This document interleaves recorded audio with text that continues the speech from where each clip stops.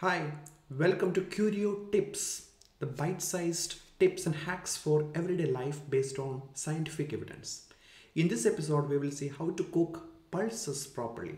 You know, the pulses and lentils, right? These are really important. The beans, for example, are really nutritious, it's full of proteins and fiber. Uh, you know and it's really really good especially here in india. We use quite a lot right here in north india yeah. And uh, how to cook it properly. So that is one of the uh, main problem that many people uh, do have while uh, you know attempting to cook. Uh, so it doesn't actually cook properly because it's the skin is really thick you know. So of course there are so many kinds of pulses and lentils and beans.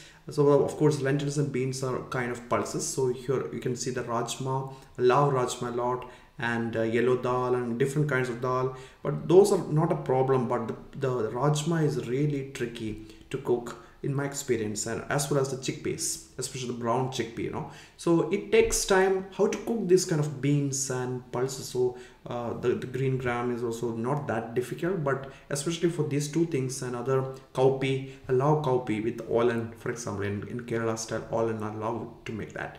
So how do you cook it properly? So the basically the, the issue here is that uh, you know if you look at this kind of uh, rajma for example it has got pectin uh, you know that uh, the the outer covering is known as pectin i mean it's pectin is a soluble fiber. It's basically a soluble polysaccharide.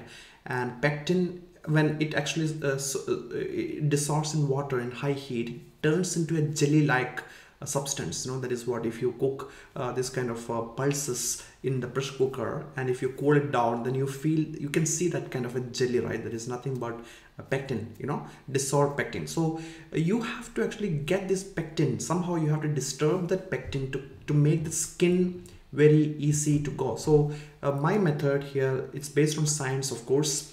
Uh, you know I, I, strongly recommend you the book on uh, you know the the science of good cooking.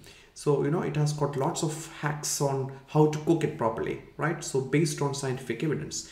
So the idea is that of course we soak it in the water for 12 hours or more, right? Uh, before cooking any of these pulses that we, we all do it. But the trick here is that we have to, instead of uh, soaking in the plain water, we should put a little bit of salt in it. You know, like uh, I like to put uh, at least one gram per uh, few ml, you know, so 20 ml, uh, put one gram. So it is something like five percentage, five grams per liter uh, per uh, 100 ml you know. So uh, you have to put some uh, salt in it. Well it's it's it, it's up to you. Little bit salt is absolutely fine no problem uh, because the idea is that the salt uh, you know salt helps to disintegrate the, the the calcium and magnesium ions inside the pectin molecule and it try to you know it tries to compete with these ions the so the the chlorine ion of this sodium chloride you know. So that is why this helps to uh, to soften the peel while soaking itself right? So after soaking for 12 hours in brine that's really important. Soak it in brine. Instead of simple cooking in the brine of course we do that right? We add salt while cooking but instead of uh, instead of that of course you uh, better add salt while uh, you know while soaking itself.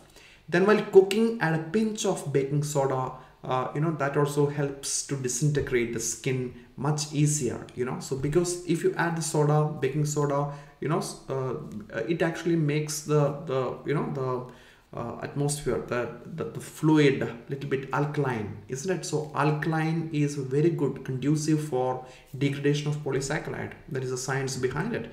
And then my method is to cook for one whistle in the medium flame and then after the whistle has come then I, I simply put that into the, the lowest flame and I cook for 30 minutes right? So this 30 minute is uh, disrespective of how many whistles it will come up but I will cook in a low flame for 30 minutes and then it's done. It's perfectly done. I can make hummus uh, you know if I'm making the chickpea the white one or I can make a rajma for rajma dal it's going to be really really interesting. So this is the idea here. You can see that this is a bean. Uh, you know the skin of the bean contains a pectin molecule and uh, this pectin is a long chain polysaccharide. It's water soluble of course.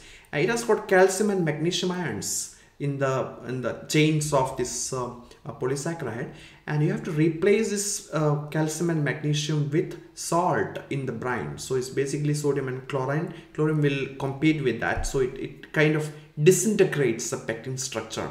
And this process is so much easier when the media that is basically the water we are cooking is alkaline. And that is the reason while cooking we are adding a pinch of uh, you know the alkali in it pinch of uh, soda in it you know. So that way we can actually do this right? So thanks for watching. I hope this video uh, was helpful for you. You know if you like this video please click thumbs up and uh, you know do share it in your groups and subscribe to my channel by clicking the subscribe icon right here. Thanks for watching and have a good day. Bye bye